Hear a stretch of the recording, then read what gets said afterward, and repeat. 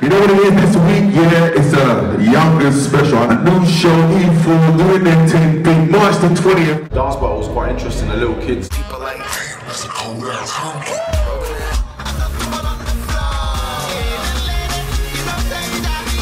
The team that stole my heart was the Perplex crew. Perplex, they came with it. Smells like R. Kelly sheets. They gave it everything. I'm worried about the young kids then. They're just coming with it, The highlight, I don't want to say booty shaking, because everyone says booty shaking. I'd say the producer battle. Producer battle was good. The Pink straps in the grave. The one I wore on Mondays and Wednesdays. My niggas flirt, they never been as broke as me. I like that. When I was young, I had to pay the leads. Besides that, It was quite a clear win for uh, King Kev. When King Kev was making his beat, I wasn't really sure whether it was kind of rapper friendly. But then when I heard the arrangement, I was like, yeah, this is really well done. look at position. They come my intuition. Go in this nigga pocket.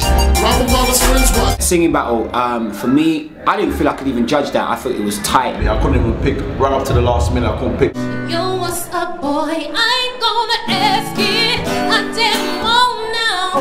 Can you be killing now? Picking up an instrument is one thing, being able to deliver vocally is another.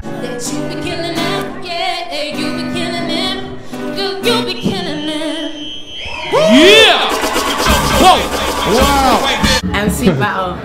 Why do you keep trying to do this with your hand? No one wants to know how you finger your nan. There's germs on my fucking teeth because I've been eating your mum's pussy. Whoa. Yo. The crowd misunderstood what was really going on. You got about as much chance defeating me as I have sleeping with Misha B. Ah, If you paid attention, you could see like from the, off the top of the head, they were really nice with it. I definitely think Dot stole that one. at six. Is that real already? It's Chris and Chris behind her, Chris. Oh, and Chris behind her.